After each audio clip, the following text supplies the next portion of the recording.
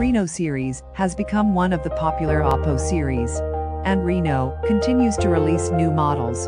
And until now, Reno 4, that will replace Reno 3, attracts a lot of attention with its bold design. It seems that other Chinese companies have started following the bold design trend that started with the iPhone 11 series with the quad camera and the very large sensor. Users love bold designs. However, one of the most important features is that the camera works well. Also, Reno 4 has 65W fast charging support, ultra fixed camera and 5G connection.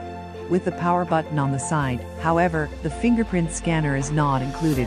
That's why Reno 4 is thought to have a fingerprint reader placed underneath the AMOLED display.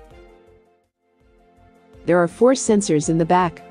The main one, ultra-wide, telephoto and the fourth sensor can play the role of a TOF, macro or depth sensor.